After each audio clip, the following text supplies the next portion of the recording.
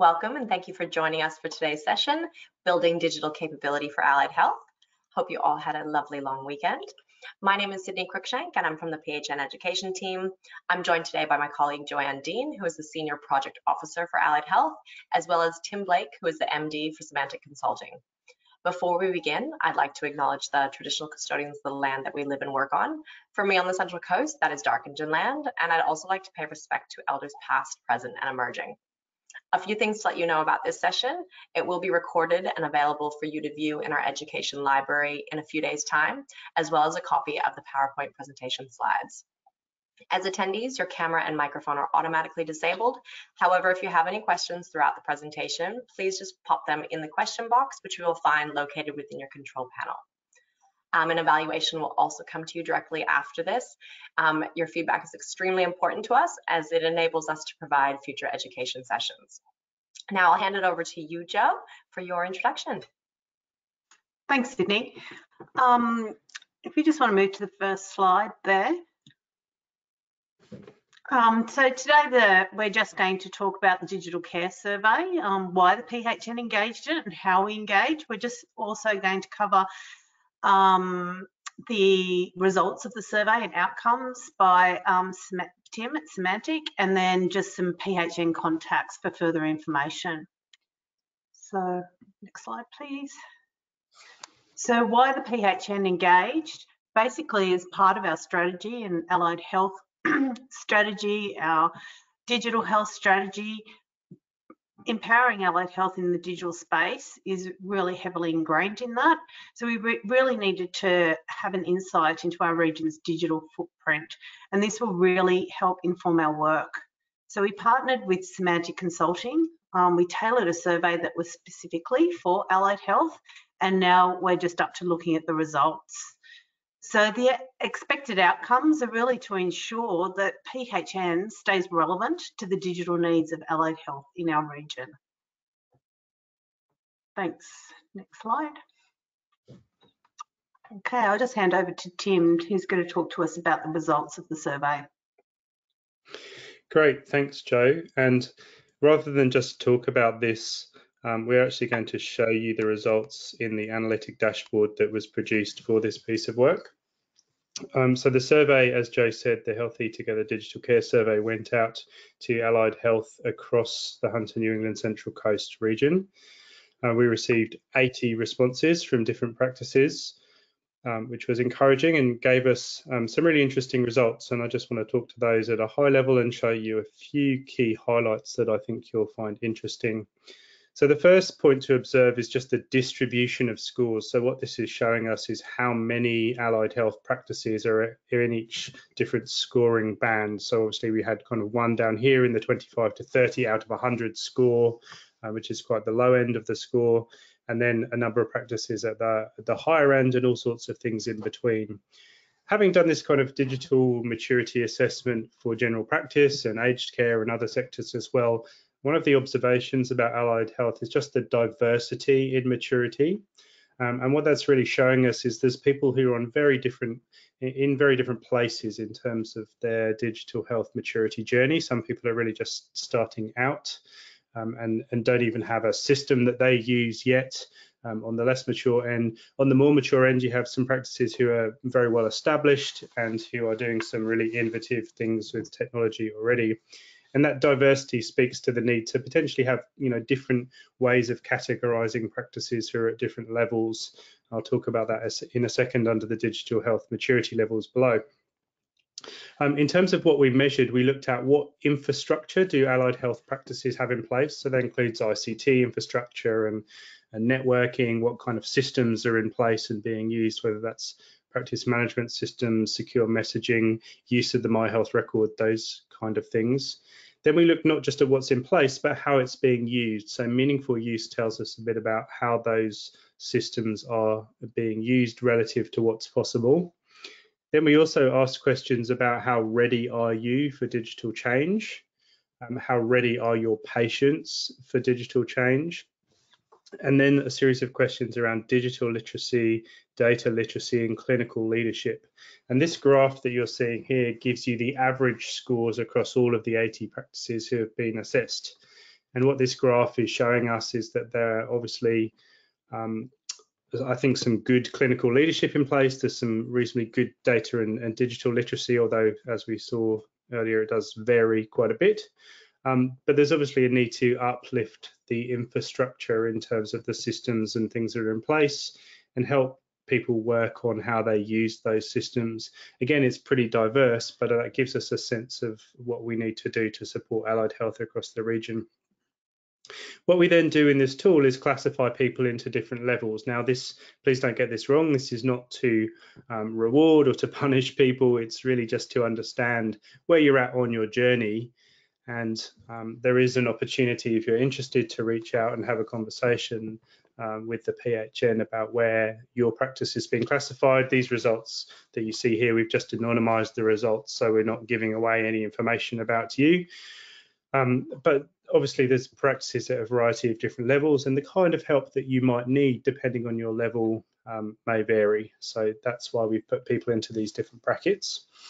Um, I then want to show you a couple of key highlights that might interest you in the survey. So firstly, um, the allied health professions that responded to the survey. You can see we're here the, the most common um, respondent was a was physiotherapy, um, but also quite a lot from speech pathology, dietetics, um, occupational therapy, psychology. So there was a range of different allied health professions, and the tool we have here allows us to filter by different profession as well. Um, what we also want to do is show you, um, which may be of particular interest, which practice management systems are used. And again, compared to other sectors, so general practice, which tends to use either best practice or medical director about 90% of the time, um, there's a much more diverse set of systems used across allied health, which is one of the challenges I think we face. But you can see that Halaxy and Cliniko, um, where I think most significant systems in use. Um, then again, quite a, a, lot of people said they don't use the system at all. And then there are a whole range of systems that are used by just a handful of people as well. Um, so we thought you might find that interesting. Um, we are able to filter these results by allied health profession as well. Um, I also wanted to focus in on cybersecurity as something that, um, again, every sector in healthcare needs to do a little bit of work on. Um, we ask questions around whether people have an awareness of cybersecurity and, and how good that is, and whether people understand the chances of, of, of a ransomware attack and how to minimize that, and then certain behaviors around whether people are sharing logins to computer systems, whether people are writing passwords down on paper, um, and there is some good advice out there that we can point you in the direction of um, for remedying some of these things if you need help with these practices. But it, it again shows this picture that there's work to do um, when it comes to cybersecurity. Um, we'd love more people to make use of password manager tools to help them store their passwords so they don't have to write them down. So that was cybersecurity. Um, I also wanted to look, if I go further down, at um, disaster recovery. Oh, I think I've skipped over it. Here we go. Um, so disaster recovery is obviously an important area within digital maturity to make sure that you're um, properly storing data, not just backing it up, but storing it off-site as well. So in the case of a genuine disaster, and we have seen this in recent years in places like Lismore during the floods, there was a GP practice who didn't back up their data and, and unfortunately um, they lost all of their data. So it's a really important thing. But a, a sizable proportion of people um, about 36% of allied health practices don't store their backups off-site, and about 50% don't have a disaster recovery plan that includes recovering IT systems um, in some cases because they don't have an IT system. So that's certainly something that's going to warrant some um, thinking when it comes to maturity. I also wanted to show you um, the results around the use of the My Health record. Um, so we asked people if they're using the My Health record. Obviously, not everyone does or can because they don't necessarily have a practice management system that supports that. Um, but about 15% of people said yes, they're using the My Health record. And then if people said yes to that question, we asked what percentage of your clinicians are actively using it. So what we see is where it is in use, actually it's being used by quite a lot of um, clinicians within the practice. Um, and we asked various questions in terms of why people are not using it, and that's often because we don't have software that enables us to. Um, but I think there is certainly interest in using the My Health record if it becomes possible. Um, I also wanted to show you um, some results around telehealth, which is particularly interesting too. Um, so we asked people if they're using telehealth. 70% um, of people said yes, they're using telehealth, where that's either telephone or video calls. Um, a lot of people used mixed modality of, of telephone and video, um, with some using only video or only telephone.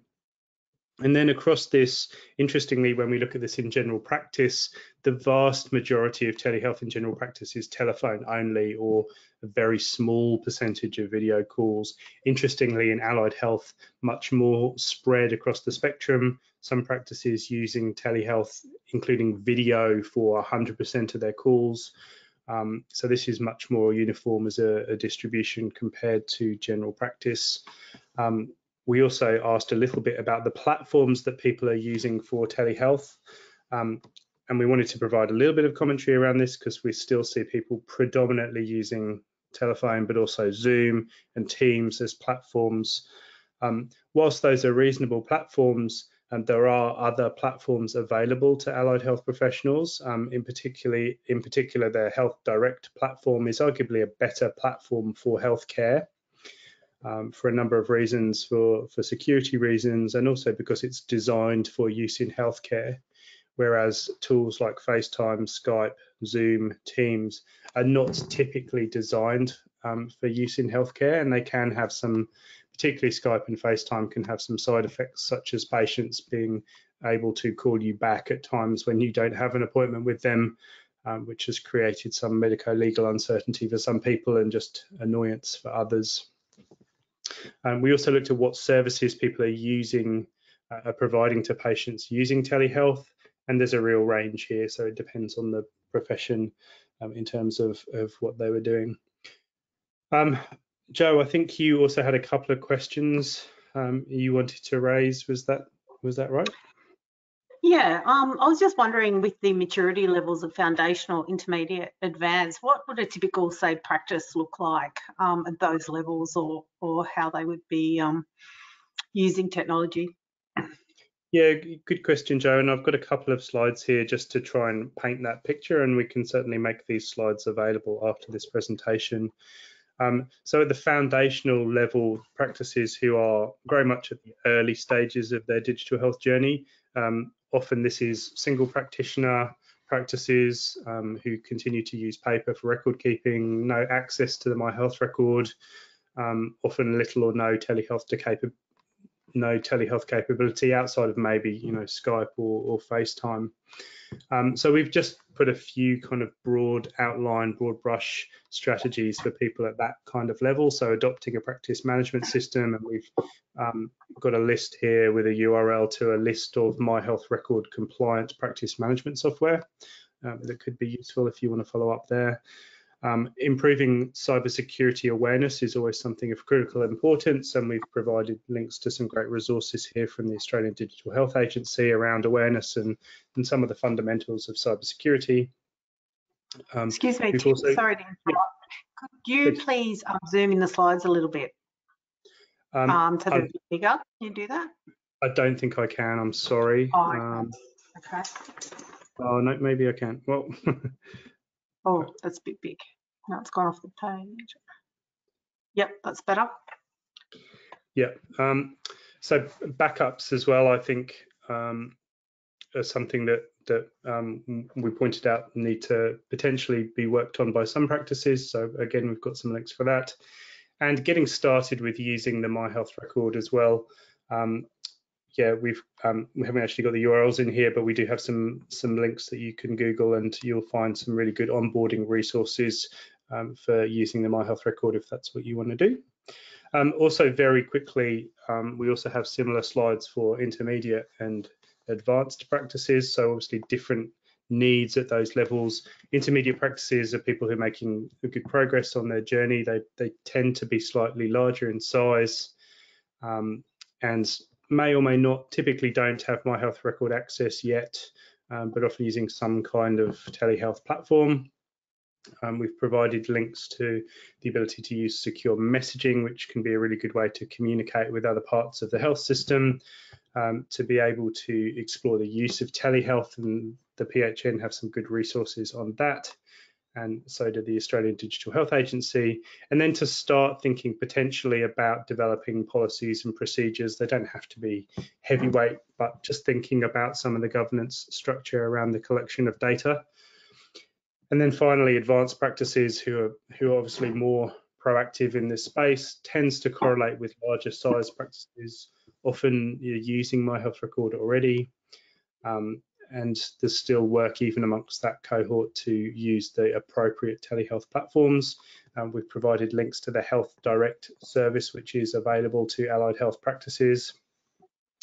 Um, and the focus for practices at this level is, is more things like meaningful use. So actually up um, increasing uploads and use of My Health Record, um, and then exploring potentially new digitally enabled models of care. So there's some really exciting other ways of, of doing things through collecting patient information from apps, remote patient monitoring, um, if you're in physiotherapy, prescribing exercise and other things using apps and, and other tools.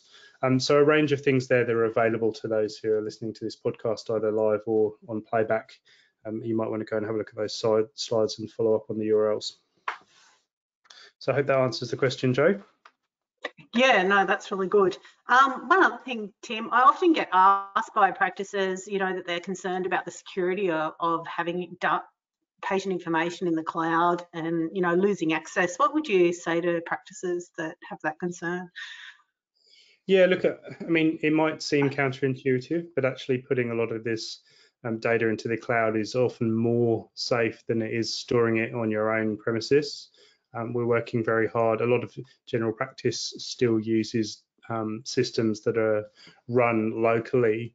Um, and these days, that the security required to secure and, and treat data properly um, is so sophisticated that it's quite hard to maintain that level of security if you do it yourself. Moving it into a cloud-based um, provision model where it's someone else's responsibility to do that for you often ensures that it's treated with much greater security than were you to do it yourself. Um, so we we have for a while now been encouraging people to do that. A lot of these cloud-based platforms have to go through quite rigorous testing to make sure they can store the data where they do. Um, often solutions are very tailored to Australia, so they they store data locally within Australia. Um, but I absolutely would have no um, qualms about storing data within a cloud-based system because these days it's just more secure than doing it locally yourself. Great, thanks. Um, just move to the next slide. Um, a lot of people on the survey um, had asked us if they could have more information about health pathways. So we have included in the slide deck um, links to access health pathways and more information on our website. And on the next slide, you'll see other key contact information um, at the PHN, uh, the allied health at the phn.com.au. If you have any further questions or you want to speak to one of our team specifically, or you want to talk about your maturity assessment for your practice, please reach out. Uh, there's also other links um, there and also in Tim's presentation, there were hyperlinks included in the presentation to resources that were really valuable. So I'll leave it there. And if you have any questions at all, if you could put them into the chat now, that would be fantastic. And Sydney will read them out if anyone has a question specifically.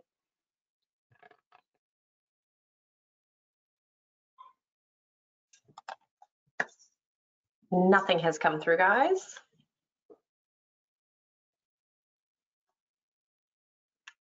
Okay, we might end it there if there's no further questions.